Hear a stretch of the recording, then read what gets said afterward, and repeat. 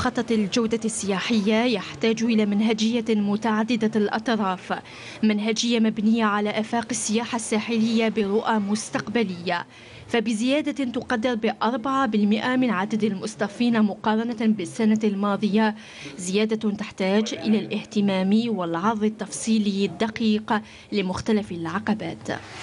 الشيء المطلوب وهو أن البلديات لما من حقهم يديروا لادجوديكاسيون المناقصة على مستوى البلدية حقيقة يختار ولد البلدية لكن تكون لأهل الناس اللي يحترموا مقاييس ومعايير المعمول بها في الشواطئ. في شروط منها شروط النظافة ويعني النظافه يعني بصفة عامة.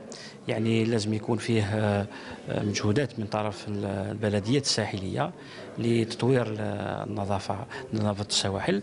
أيضا العامل يعني الآخر ربما اللي يشجع آه، هو العامل التطوعي اللي ربما يعطي كما يقولوا دفع يعني السياحة. عقبة لابد من السيطرة عليها بآليات عقلانية لتحقيق موسم اصطياف ناجح وبتحضيرات مستقبلية. بما أن الطلب المذكور طلب موسمي فسوف نشجع الاستثمارات الموسمية على مستوى شواطئنا.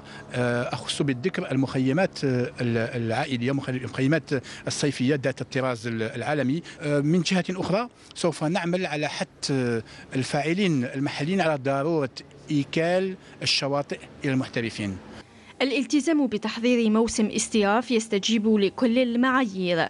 يتوقف أساسا على فاعل التميز فهو محرك بعث السياحة في الجزائر لكن ليس على حساب المنافسة.